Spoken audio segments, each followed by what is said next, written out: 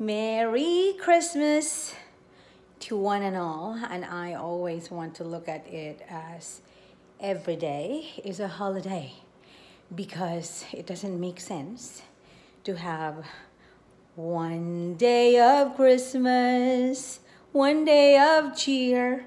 What, the actual F? So, guys, we're heading out. It's a surprise. I am so excited. And you guys, just enjoy your life because the only thing that matters is now. The past is gone, everything is shenanigans. I love you guys. You take care. Hit the like button and subscribe to my YouTube channel, Art by Hazel Fernandez. Bye for now.